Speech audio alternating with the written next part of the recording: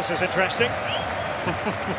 He's been watching Thomas Müller from the end of last season.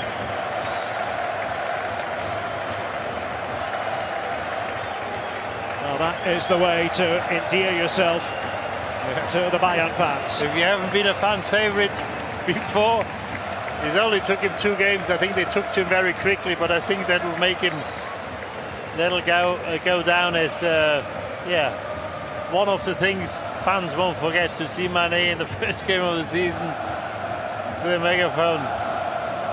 Brilliant. Look at them, they love it. Rightly so. Well, this is what we love about the Bundesliga, the relationship between players and fans. it's a wider extension of community, Didi. Yeah, and it, it is it is different. It is